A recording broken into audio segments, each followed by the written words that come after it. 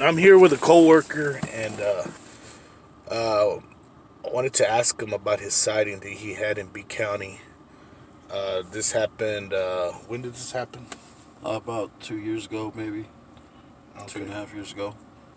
All right. Can you uh, start from the beginning about what you had seen, or Yeah, me and my me and my girlfriend were sitting outside one night, and uh, we were just sitting outside talking, and something caught my eye.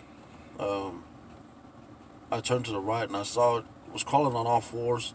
It was maybe about on all fours. It was probably about three and a half, three and a half feet tall on all fours crawling. Kind of looked like it was kind of trying to sneak by. When I saw it, I mean, it was bigger than a pig. So I, my reaction was, "What was that?" Immediately, what was that? And I yelled it out to my girlfriend. Well, when I yelled it out, he stood up, and it stood up to be maybe about seven, seven and a half feet tall, and it passed up the side of my house. So I ran in through the front door, and ran out the back door to try to see what it was. By the time I got out the back door, which is probably about maybe 15 feet away from the front door, by the time I got to the back door, it was already gone. Like, in a matter of maybe 10 seconds, gone. and it, it was dark. It was, it was dark, yeah. The only thing that was that was um, shining on was that moonlight. It was a clear night, so so the moonlight was pretty bright. But okay. it, but whenever I saw it, it was like from here to maybe that ditch. About a, that's about as far as where it was from us. Oh, okay, I see.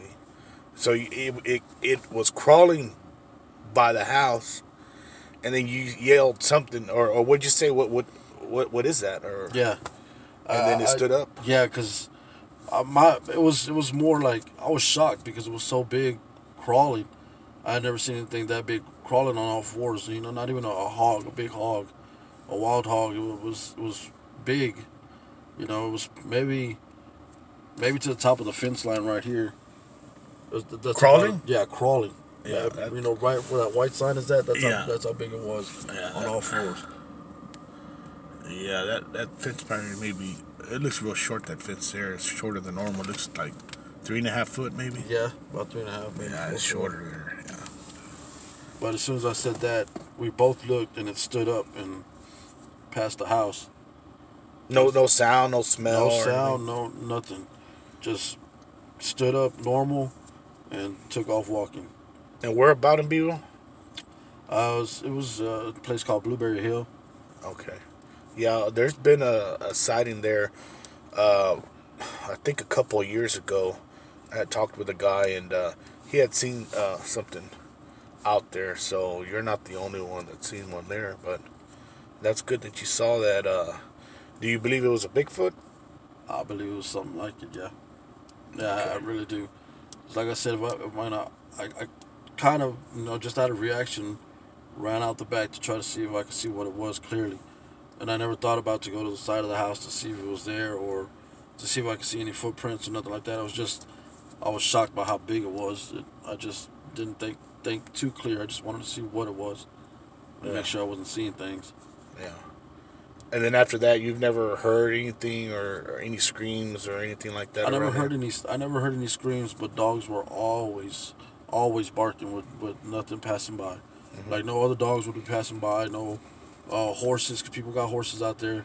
No horses would be passing by. It would be quiet, like dead quiet, and all of a sudden, dogs would just start going crazy. That's crazy. I mean, these animals are, are like coming up to houses and stuff like that. I'm guessing that they're trying to to eat scraps and, and get food that's a lot easier than than what they're trying that they normally get. You know, it's to me that's what I believe in. I mean, that's why there's a lot more sightings and encounters that are coming to the houses and stuff like that. That's that's what that's my belief. Yeah. But of course, you know, I'm pretty sure they do their regular hunting and stuff, but uh, still, I think they try to get the easier food they, when they can get it. But anyways, it's uh, my little interview with uh, my co-worker out of Bee County there. Thanks.